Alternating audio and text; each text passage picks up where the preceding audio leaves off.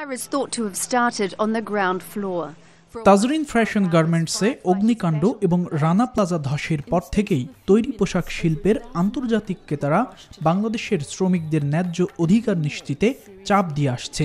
In one of the world's deadliest industrial সবশেষ গেল মাসে বাংলাদেশ সফর করে ইউরোপীয় পার্লামেন্টের প্রতিনিধি দল শ্রমিকদের অধিকার প্রতিষ্ঠায় দেশের রপ্তানি প্রক্রিয়াকরণ অঞ্চলের কারখানাগুলোতে ট্রেড ইউনিয়ন গঠনের প্রস্তাব দেয়।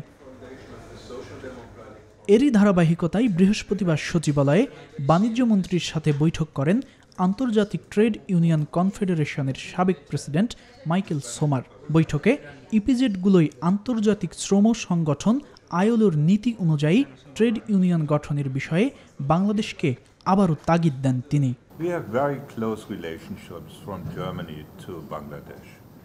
বাংলাদেশের সাথে আমাদের বন্ধুত্বপূর্ণ সম্পর্ক দীর্ঘদিনের।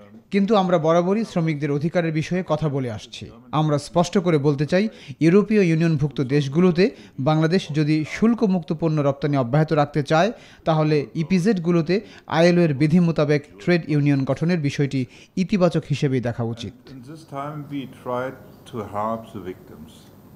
তাদের এমন অভিমতের পর বাণিজ্যমন্ত্রী জানান, ইপিজেড এলাকার কারখানায় শ্রমিক সংগঠন হবে কিনা তা নিয়ে বাস্তবসম্মত সিদ্ধান্ত নেওয়া হবে। আমাদের টোটাল রপ্তানির পঞ্চান্ন শতাংশ ইউরোপিয়ান ইউনিয়নে যায়।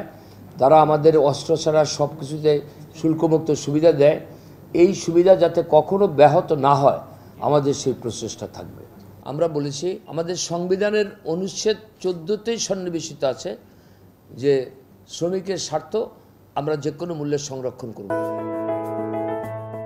বাংলাদেশ রূপকল্প দু বাস্তবায়নে একশোটি বিশেষ অর্থনৈতিক অঞ্চল প্রতিষ্ঠায় কাজ করছে, যার অনেকগুলোই অবকাঠামো উন্নয়নও এগিয়ে চলছে।